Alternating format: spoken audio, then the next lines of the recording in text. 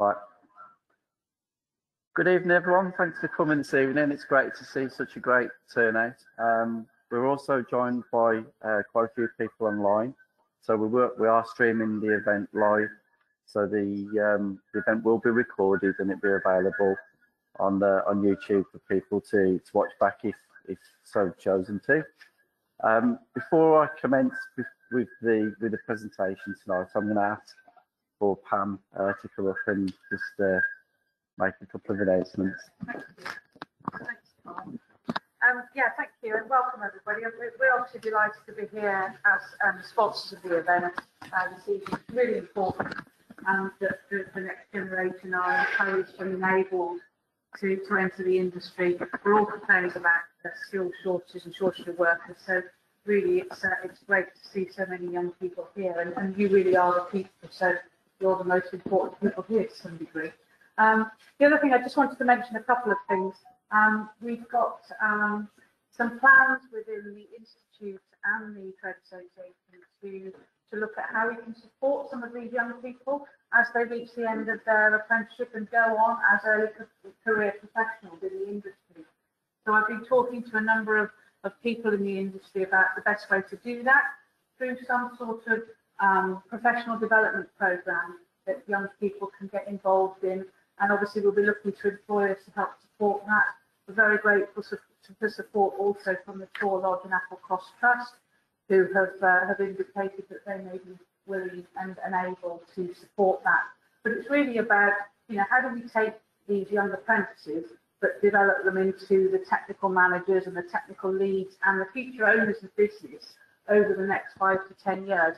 And there's certainly some building blocks I think that we will need to put in there. So I, I, I just wanted to make you aware of that. And if you're interested in support or interested in learning more about that, then please do get in touch. Very quickly, the other thing to mention is we're also looking at, and um, we've just developed a, a short course um, on cast iron metallurgy. So this is uh, this is a, uh, a program that's going to be run over 18 months, um, just two or three days uh, in blocks over a period with some project work as well. So as I say, it's really about the production, quality control, there's really shop floor operations of, of, of cast iron metallurgy, which I think is a real gap in the market as well. So again, I think we've got our first, first cohort all, all good to go. Um, but we'll certainly be looking for a, a, future cohort later on in the year. So if that's of interest to you, um, thank you very much. I've gone well over my time. Thank you. Thanks, Pam. Cheers. Okay, so um, the last time that we did this um, students' evening, uh, I've got to say it was a, a major success um, going back to February 2020. So um, the, for me to be able to add this night to my programme uh, gives me real massive satisfaction. So looking forward to, to hearing from the guys um, sat over there. Um, we will be presenting an award later this evening as well to um, the uh, West Midlands um, Apprentice of the Year. So um, before we get stuck into the buffet, uh, we will be making that presentation as well. So please be patient, um, please be kind, and please listen to the uh, to the apprentices. I'm sure they're not going to let us down. Um, it's uh, no pressure, guys, but uh, um, I know there's a lot of work that's gone into it this evening as well. So we're all looking forward to hearing from you. Um, so I'll hand over today. Thanks.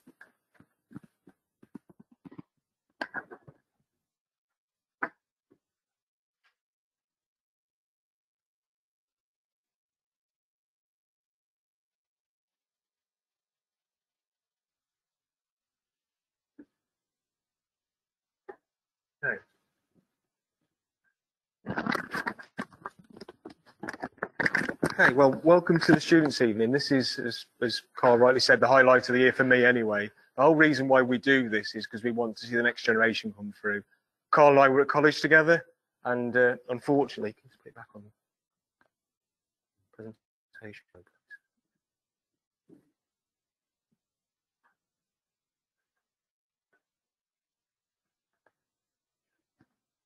Yeah, so the, the reason why we do this really is that Carl and I, I'll pick on Carl, we went to college in the, uh, probably, we're probably swimming in this water here somewhere, bunking off, I don't know, I don't know. but that that was uh, Woden Road for the local foundry guys. They'll know it very well. And then we moved to Chance Campus. Um, this was some 20 years ago, Carl, I guess now, long long time ago.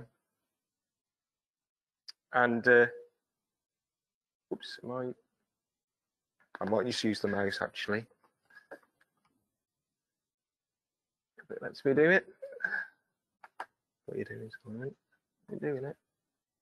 Oh, here we go. Yeah. So unfortunately, this is this was from a few, few years ago, but this was one of the Met labs there, and that was really what was left of the found industry in terms of technical training. That's the reality of it. And for a lot of our graft, and, I'm, and Pam's in the Urban Embarrassed and McCall, a lot of people, we've actually got something now, and that's the important thing to say. But that's where we were in the in the in the early 2000s. Really had nothing. It was the death of the uh, apprentice program in the in the UK. Next slide, please. So the great news is, I think most people are aware now, we've got a, a nice shiny new foundry college there.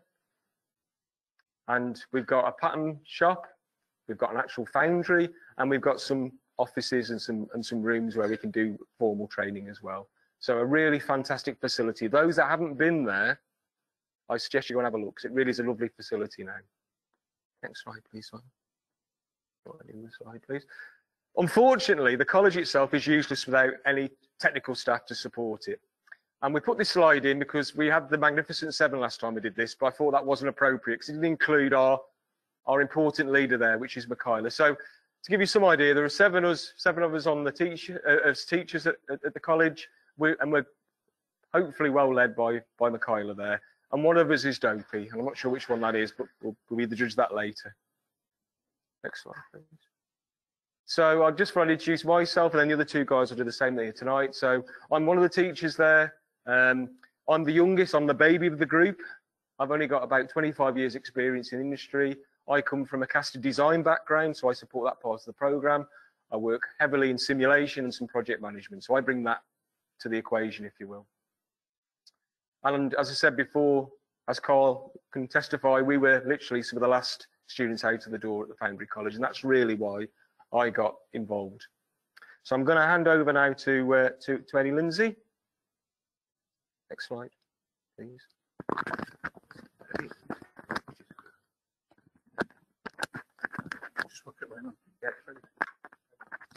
Is that okay? Good evening, ladies and gentlemen. I think um, when Dave said he's the youngest presenting tonight, I think uh, it's pretty obvious when you see the products that I was involved in uh, when he said he was at college 20 years ago, I was at college 40 years ago um, at Bolton, uh, where I did my HND. Uh, in the years that have passed, I, I, always say to people that this industry put a roof over our head. Uh, and I speak to my family and my, my, my, kids and my grandkids, and it also put food on the table. Uh, and I love the industry. And that's why I got involved in trying to give something back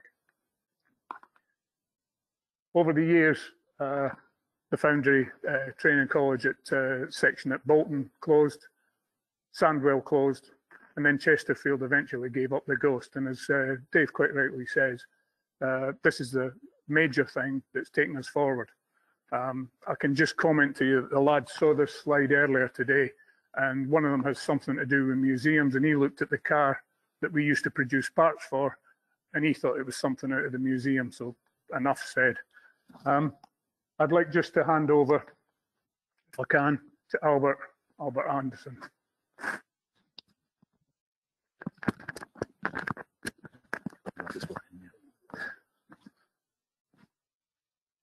Okay, good evening. Um, I'm the, the third, or not one of the tutors from uh, Foundry Training Services. Um, I've got just over 40 years experience in the, the industry. Uh, I was a time served part maker, so I went through the apprentice uh, system at the time, so I experienced all that. Um, I actually studied up in Scotland, but you can tell by that accent, up in Falkirk College of Technology, which again has been one of the ones that's been hit and actually no longer teaches any uh, any foundry uh, subjects up in up in that part of the country. So it's nice for me to to be involved uh, down here in, in Tipton, the West Midlands. Um, my sort of work experience, I, I started my time with a company called Glynwed in Larbert in, in central Scotland, um, and then moved to the Weir Group um, after a couple of years. Finished my time there, and then at the age of about 29, I ended up coming south uh, and ended up joining Nissan, and I, I spent 30 years in Nissan.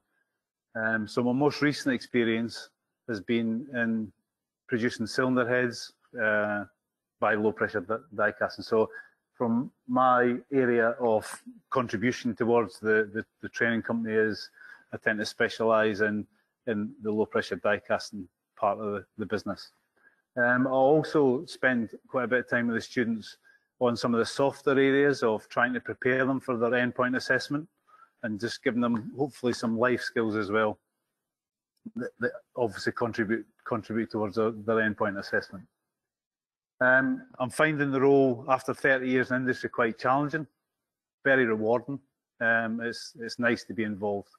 Um, I do travel quite a distance to, to, to the, uh, the West Midlands to, to get involved, but I'm finding it, it's, I say, very different, I, really enjoy it.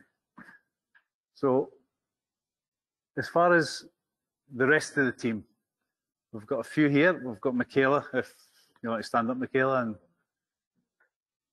um, so, so Michaela's here as, as the operations manager. And I think a, a pretty well-known character within the industry in, in, this area is Chris, Chris Hallett. So Chris can stand up. Um, and really, there's two people who can't be here. No, there's actually three people. There's uh, Patrick Ellie, who doesn't appear on the slide, we, and he's a fairly new member of the team, but he brings quite a bit of expertise on on the sort of artistic casting, the sort of that that specialist area. Um, and then we've got John, John Myers, and Billy Cox. Um, so I say that the three are not not here tonight. Um, so we move on. It's cohort four we've got here tonight. So we've got four young gentlemen here tonight to to give us a little bit of a short presentation, a bit about themselves, a bit about their companies, and just to try to link some of the learning that they've, they've had when they've been uh, on the on the program so far. They're fairly new into the program. They're probably around about probably about 12 months, slightly less than that. Um, and bearing in mind that during that 12 months, they've been we've been hit by COVID, and we've had to do quite a lot of stuff online with them, which isn't ideal for our industry, but we've managed to get through, and we've used we've used online, we've used some of the, the platforms to to try and help us there. So this is cohort four. There's there's four gentlemen, as I said. We've now the cohort four is we've now have five cohorts within the organisation. The first cohort are passing through Gateway now, um, so they are passing over the endpoint assessment organisation. So that's great. Um, and then we've got quickly following with cohort two, and we've hopefully or we have got some members for cohort six coming in September. So hopefully we've got a throughput of, of, of new young people coming into the industry, which is a which is a great thing. So I would like to sort of introduce the first young gentleman to come up. So Sam, if you would like to go up and do your stuff.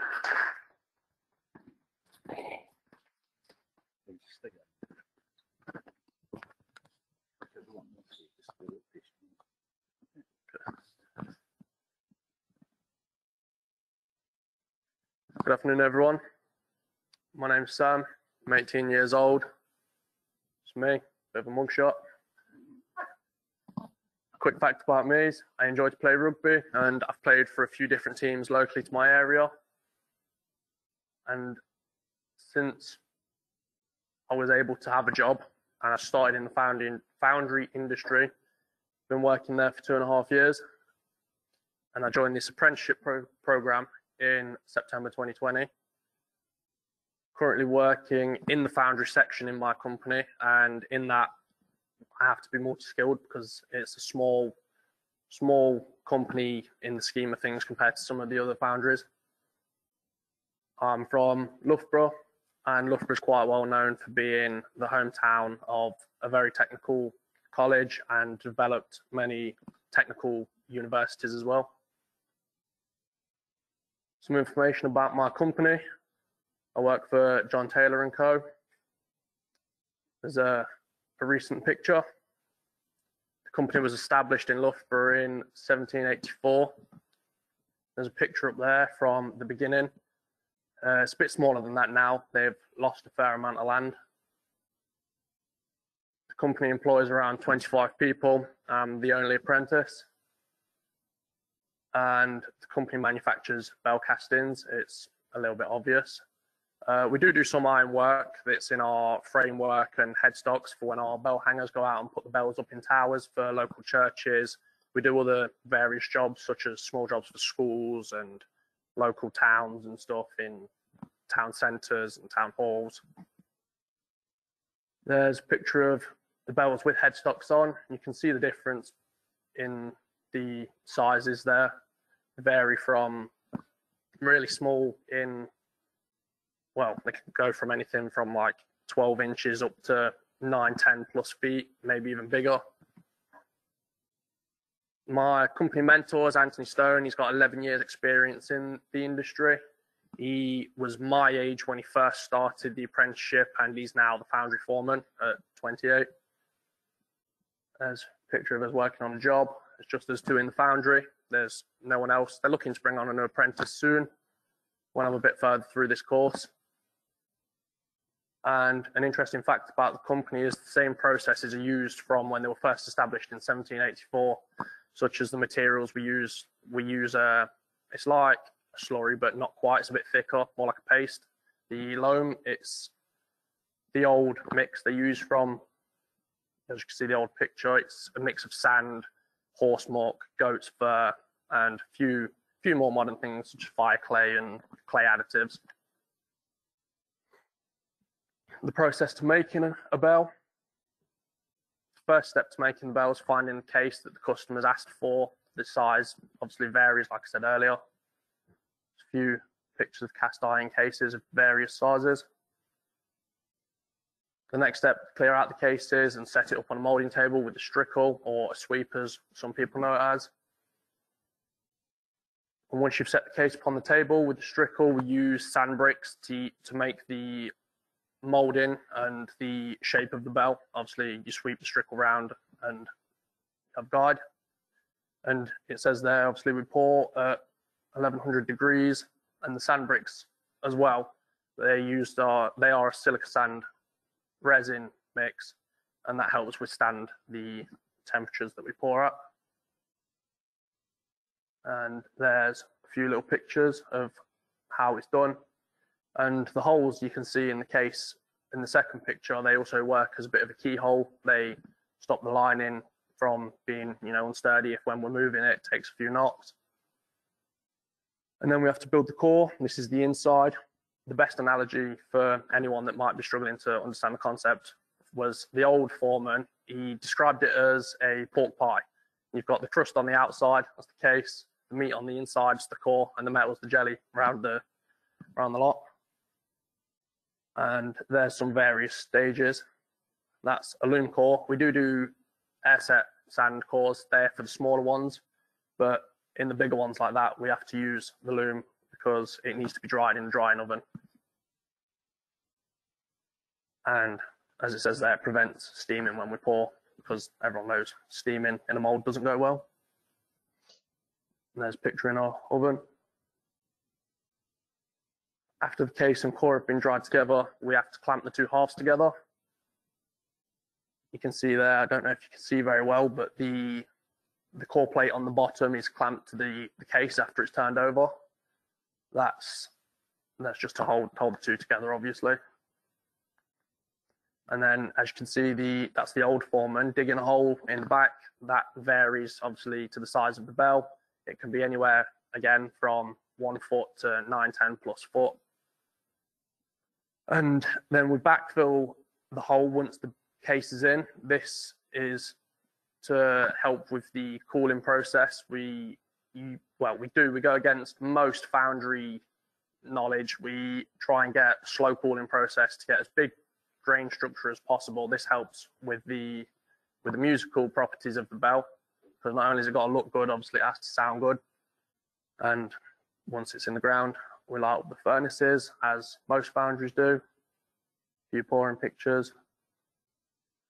And the way this this course links to my my job is in Taylor's with our cast iron, where there's a bit more science. We we have to work out the feeder size and the placement and how much feed metal we're going to need. And obviously, you can see there's a few different labels for the headstocks. There, what the belts hang on. There's horseshoes, U. There's a few more that aren't on there, such as cannon retainer headstocks, all different shapes, sizes, thicknesses. So obviously, lots of different calculations to work out. And once I've completed this apprenticeship, I'd quite like to be able to have open pathways into other businesses, maybe in the industry, step up into different roles in the, the industry, and not be anchored down to one company in one position. And thank you for listening. If anyone's got any questions. No? That's fine.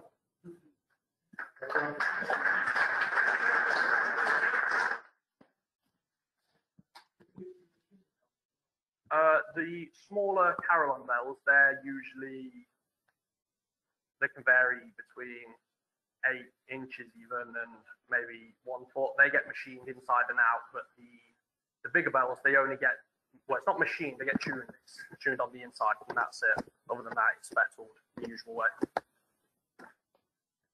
Any, any more? We'll pass over.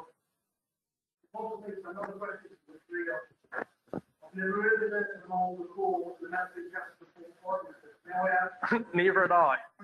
Neither had I until until I first got there.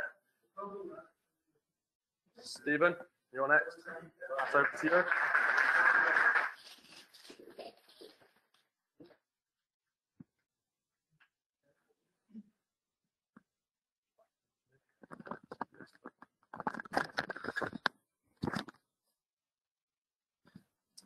Hello, uh, thank you all for coming. Uh, my name is Stephen Jakes. I'm 21 years old and I'm from a town called Retford. It's in the middle of, middle of England. Quite an old town. There's not much to do there other than have a few games of pool and go to the gym. There's nothing real, nothing much really there. Uh, I've worked in the foundry for a little over three years now, and I only started the practice course in September 2020. Which means I were, I were left with, well, the first year, year and a bit, I were the work this course went about. So I tried a little bit of in-house training. Then as soon as this course opened, that's when I was allowed to, well, got the opportunity to come and join this course. Yeah. Yeah, a little fact about Retford, it's one of the oldest market towns in, in the country, which market still runs weekly, every Thursday and Friday afternoon, and the odd times on a Sunday. Uh, I'm currently working in the pattern shop uh, in in my company.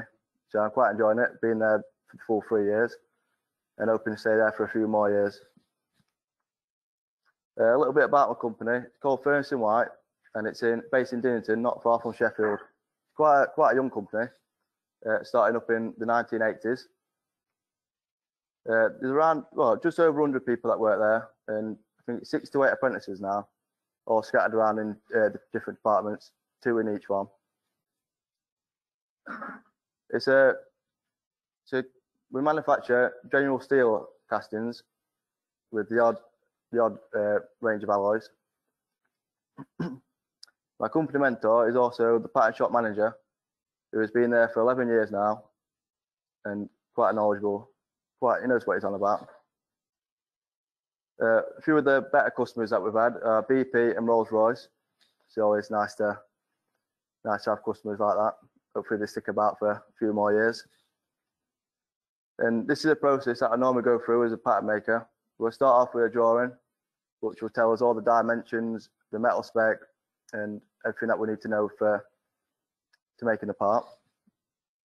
And then we'll uh, when we've got the drawing, we'll get cut out a bit of wood, a bit of wood big enough, then mark out to size, adding on all the taper and everything that we need to need to allow for the casting to come out how we want it to. When we're happy with how it's how the layout is, we then start to build up piece by piece using plywood or pine or various hardwoods, just whatever you think's appropriate for the job. Then for this job, for instance, we needed a nice curve, but to get that, we had to I had to use the lathe and make a template and keep taking bit by bit, putting it up, then taking the bits off that I needed to.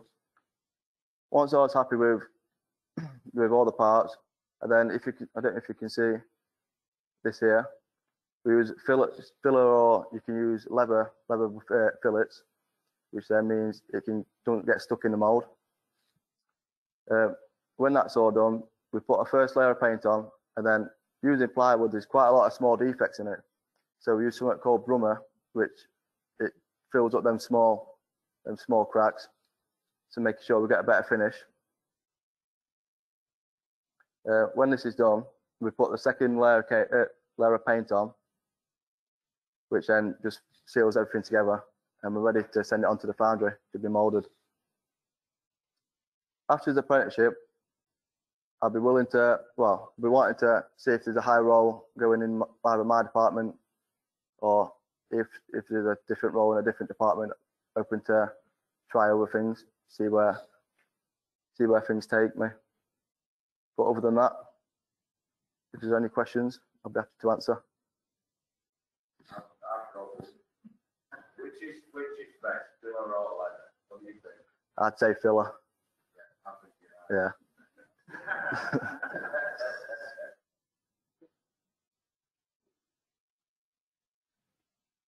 But yeah. Right, thank you for listening.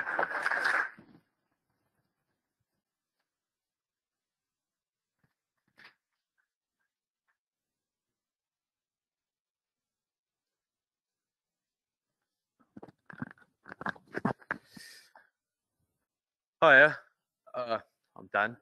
Um, before I start, there will be a lot of humming. Can't help it, unfortunately. Um,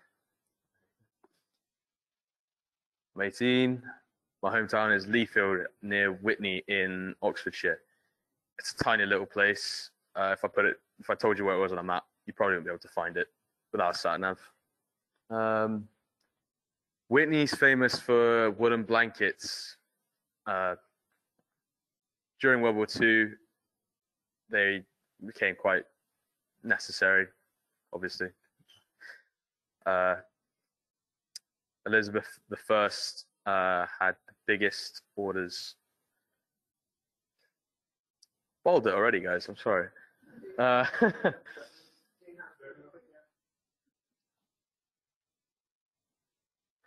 okay, I've been in the foundry industry for a little over 15 months now.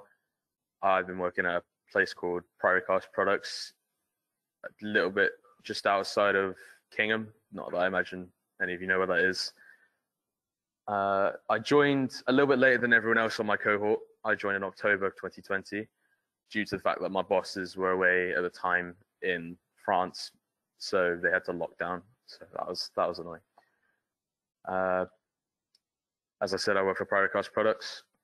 My company is very new uh, set up in 2018. Uh, they took over from the previous owner, uh, who ran the foundry for 30 years. It was more of a hobby for him, but uh, we kind of industrialized it a little bit, and it's come a long way since since then. My company doesn't actually employ five people; it's four. Uh, I'm one of two apprentices. I've been as I said, on for 15 months. The other apprentice is in, in cohort five, and he is he's only he's only been up in Dudley once since uh, he started. My company mainly manufactures uh, decorative parts and window stays and fittings. Uh, it's nothing crazy. We do the odd silver part, but my mentor is Eunice Ascot. He ran well, he didn't run a foundry. He was he was part of a foundry in London that was mainly involved with silverware, and he thought he could do a better job of it somewhere else, so he moved to the Cotswolds. An interesting fact about my foundry is that we made the window fittings for Bletchley Park. Kind of interesting if you like that sort of thing. It's not really for me. Uh, at the college with John Myers, uh, in Unit 9, we've been learning all about uh, choking points, uh, cross-sectional areas, and I don't use any of it in my foundry, so really helpful. I mean, it's, it's interesting if I went somewhere else, but just, um, yeah. At my foundry, we tend to just whack on a bit of wax. Hope it, hopefully it works. It's, it's not, it's a bit of guesswork, but does the job. Uh, once I completed this apprenticeship course, I'm hoping to maybe in like 10 years time be a manager someplace myself, maybe do a better job at presenting than I am now.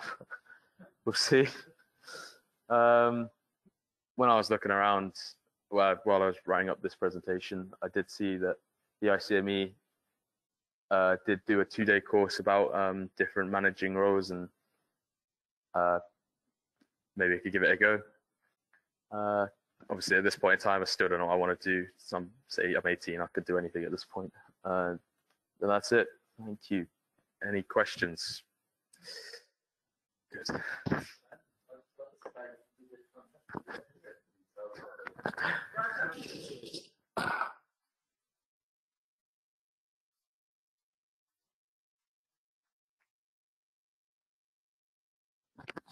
Good. How can I top that? Thanks, Dan. so, hello everyone. My name is Joshua Ragnar Lee.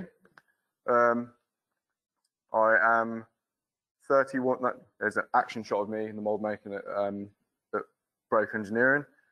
I'm 31 years old. Um, I've entered the industry quite late in my life. Um, there's many reasons for this. Uh, one being I never really knew what I wanted to do with my life until I had kids, and um, I thought, right, now's about time I, uh, you know, kick myself up the butt and do something worthwhile. Um, also going back to the fact, yes, my middle name is Ragnar. Um, you don't have to say it. I do normally go by it. It's a, it's an old Danish name. Um, it means warrior. I'm not a warrior. Yeah. Uh, I've worked in the foundry industry for about 18 months now. Um, and at, I'm at Brafe Engineering. I'm currently in the mold making uh, section at Brafe Engineering.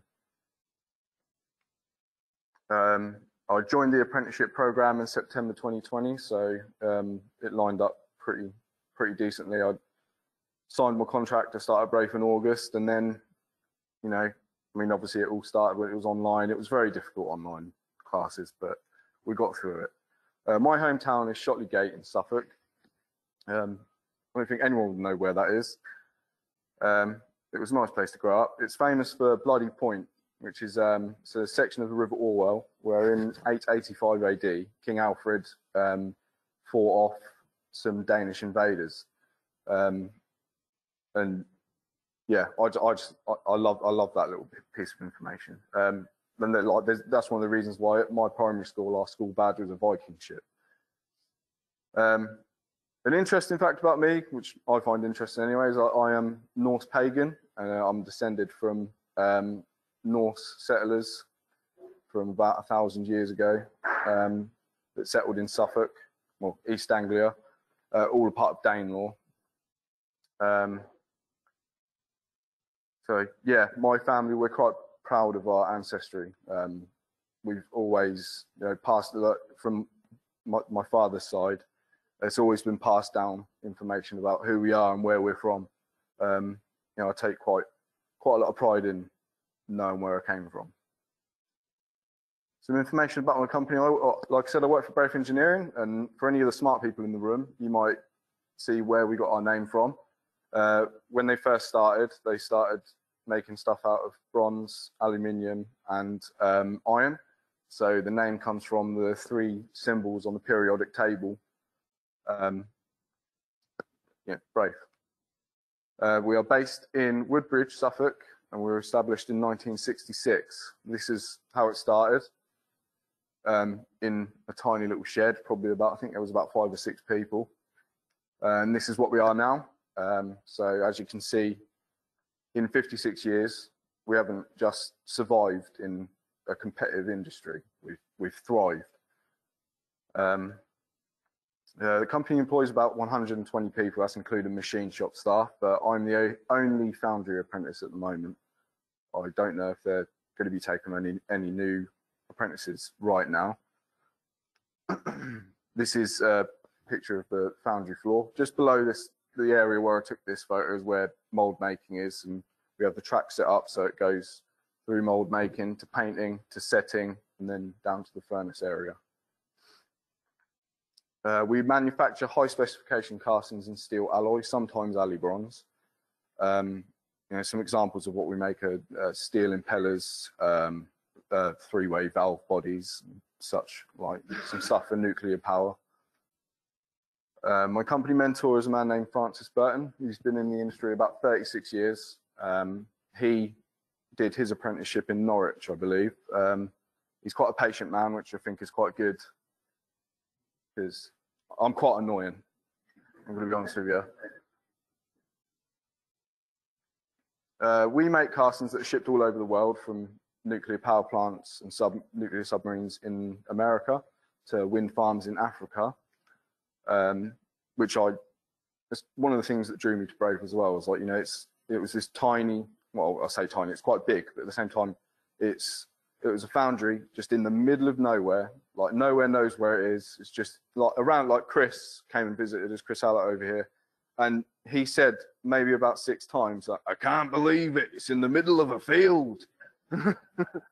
so uh, yeah, like you know, I found it quite amazing that you know just in this random rural area, um, we ship stuff all over the world. I thought it was quite amazing. So I'm going to bore you now, just so you're aware.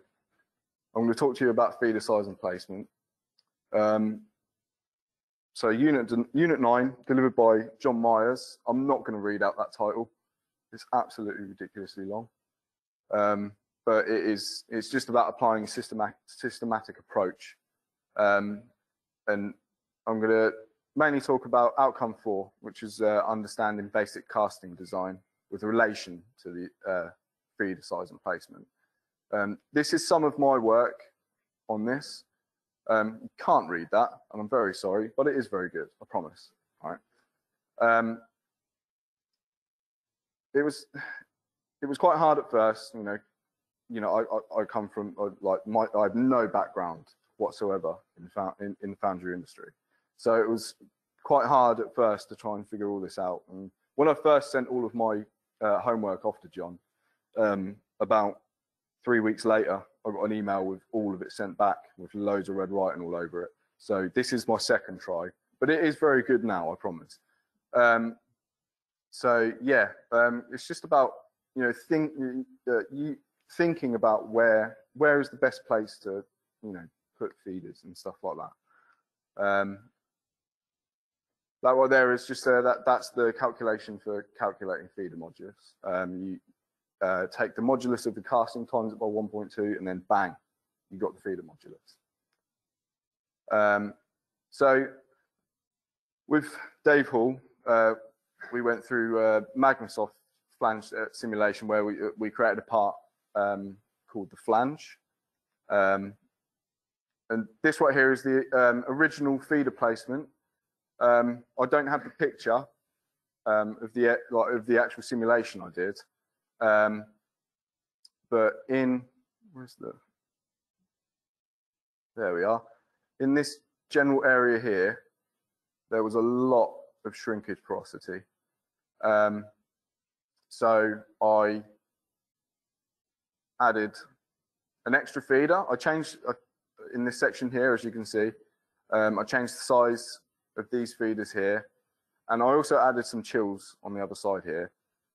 Um, and then I put it through the mesh again.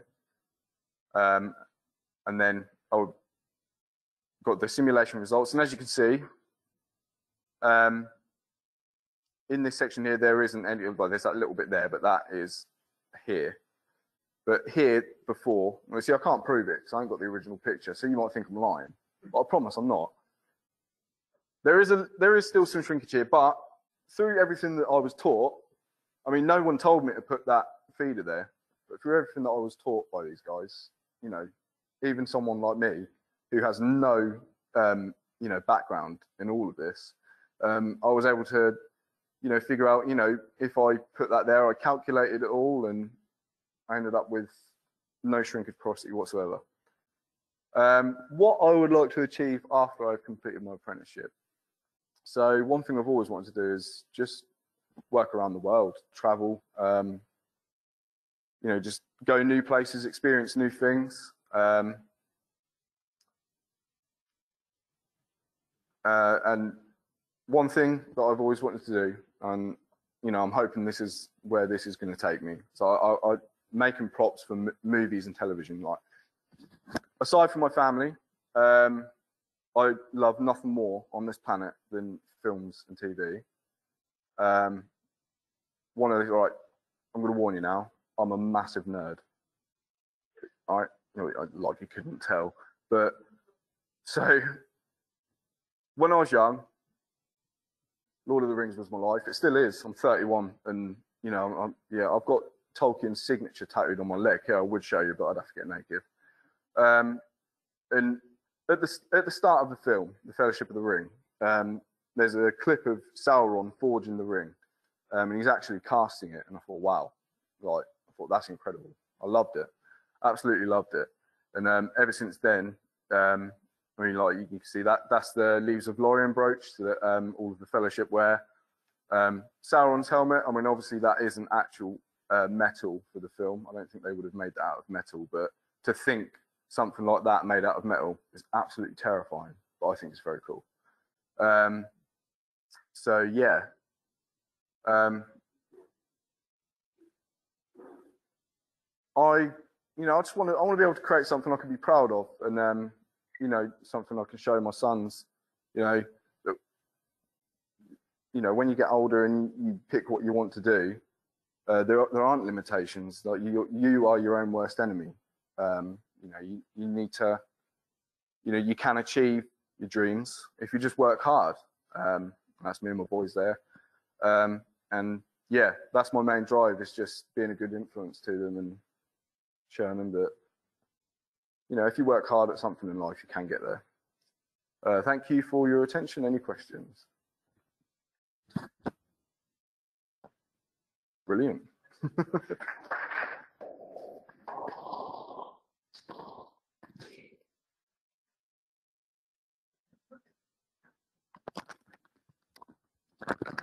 Okay, well, what an absolutely fantastic job. Let's can we give another round of applause to the for an absolutely fantastic job for that.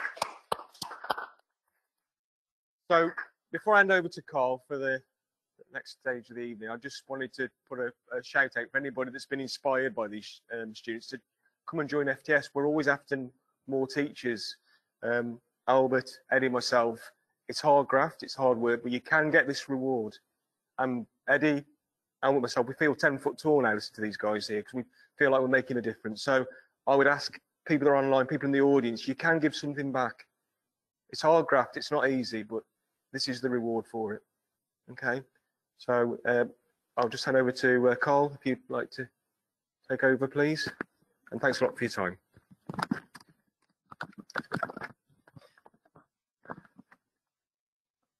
Uh, you should be really proud, lads. Um, I'm, I'm immensely proud to be able to stand here and thank you. So um, you should be really proud. I'm, I'm sure your employers are really proud of you as, as well. So um, I think about myself when I'm sort of your ages and sort of you sat where you are now, and I couldn't do what you just did, um, to be honest. Um, so you should be really proud. Well done. Um, I also think it's quite fascinating. Um, you all come from sort of um, rural part, rural parts or um, strange places that you never heard of before.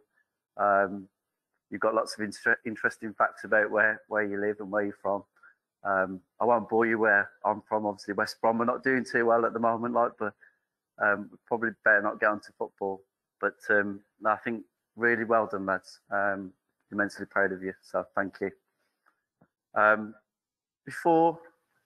before yeah, sorry. sorry, Yeah, sure. Sorry to interject. Yeah. I, I, I do apologise. Sorry, I missed something. There's um, Andrew Turner mentioned there's a uh, a prize available for just coming on the chat. Sorry for it's worth four and a half thousand pounds for uh, the World the World Foundry Con Congress. Thank you, Pam. You want to come in and say that? Sponsored by the Worshipful Company Line Okay. Numbers. You have to write a short paper, but the prize is uh, Yeah. well-expensive trip for Thanks, the Pam. winner. Uh, Okay. It only happens every couple of years. Okay. so, The next trip is in, in Korea.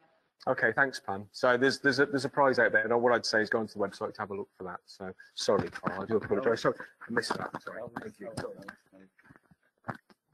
So what I was going to say was one, one of the comments from the lads was, you know, um, I want to be able to possibly work anywhere in the world, and believe me, you will. You'll have those opportunities. Um, I was fortunate enough to to enjoy those sorts of opportunities, and from what I've heard tonight, there's no doubt about it. You will be able to travel the world, and the world will be your oyster. So, all right, keep working hard. Um, before I open the um, the buffet tonight, it's been kindly sponsored by CMA. um, I have one more announcement and presentation to make. Um, this presentation is for um, West Midlands Branch ICME uh, Apprentice of the Year. Um, I'm not sure, Dave, if you'd like to say a few words about this apprentice. Sorry for putting you on the spot. um, but um, maybe you'd like to say a few words about Yeah, it. so I, I don't embarrass Joe too much, but we have a, and, and for the, the cohort we just had, we have a, a vote internally with the, with the, uh, the teachers and at the branch, and we wanted to give something back. What's really important to me, Carl, and the members of branch council, the members of branch council, is that we're giving something back to the college, and there's that kind of interaction between the college and the and the branch. But um, Joe, I've, I've, taught Joe. He's a very polite, keen lad. I've, I've got really high hopes for him. Don't embarrass him too much. He's going to come up here in a minute. And um, hopefully, this award, this award will be inspirational to the next cohort. We're going to try and offer this every year. That's the plan, I believe. I don't to put back on the spot anybody else. To try and offer this every year. And um, yeah, it's just a way of acknowledging some some really hard work and some and some good work that he's done. So um, yeah, congratulations to, to Joe. So if you'd like to come up, Joe. and- Would you like to join us?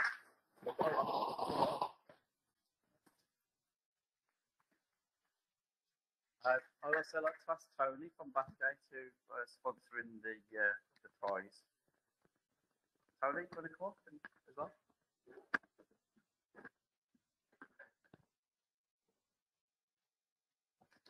Thank you very much. Joe. Um, you have this done country camera. So, uh, a gift of two hundred fifty pounds uh, from from Bathgate. Also, there's a um, cancer. Um, we have a certificate for you as well. Thank you very Right, but well done. Congratulations. Keep up the hard work. Do. Well done. Okay. Thank you very much. Cheers.